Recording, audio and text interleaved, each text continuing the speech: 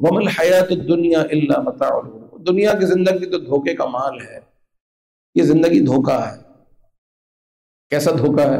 کہ اگر آپ کوئی ایک پانی کا بلبلا بنائے، تو اس بلبلے کی کتنی یا کوئی صرف کا بلبلا بنائے، یا بچے جو وہ بناتے ہیں، ببلز بناتے ہیں، وہ ببلز کی جو لائف ہے وہ کتنی ہوتی ہے۔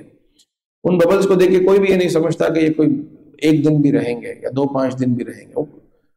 کتنی تھوڑی سی دیر کے لیے ہوتے ہیں تو دھوکا ہوتا نا کہ بندہ ہاتھ لگاتا ہے اور ختم۔ یہی آدمی کی زندگی ہے۔ یہی دنیا کا مال ہے آخرت کے مقابلے میں۔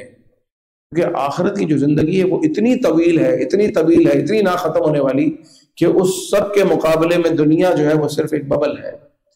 انتہائی قلیل المدت اور وہ بھی دھوکا کہ ہاتھ لگایا اور ختم۔ پتہ نہیں چلتا کہ بندہ کب ایکسیڈنٹ میں مارا جاتا ہے۔ بستر پر سوتا اٹھتا ہی نہیں ہے۔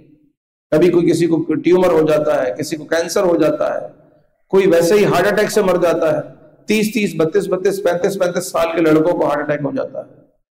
بچے انتقال کر جاتے ہیں۔ تو ہم نہیں جانتے کتنا جینا ہے۔ تو حقیقت یہی ہے کہ جس کو اللہ نے آگ سے بچایا، جنت میں داخل کر دیا، وہ کامیاب ہے۔ اللہ ہمیں نصیب فرما دے۔